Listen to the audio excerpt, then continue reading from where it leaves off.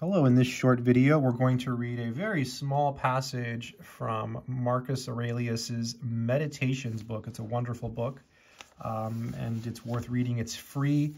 You can search for it on the internet. And as always, I'll leave a link in the description in case you want to pick up this exact copy or one like it. Let's talk a little bit about pain. It says here, it is normal to feel pain in your hands and feet. If you're using your feet as feet, and your hands as hands. And for a human being to feel stress is normal if he's living a normal human life. And if it's normal, how can it be bad? And this is something that I think is it's an interesting passage because when you read it, you think, wait a minute.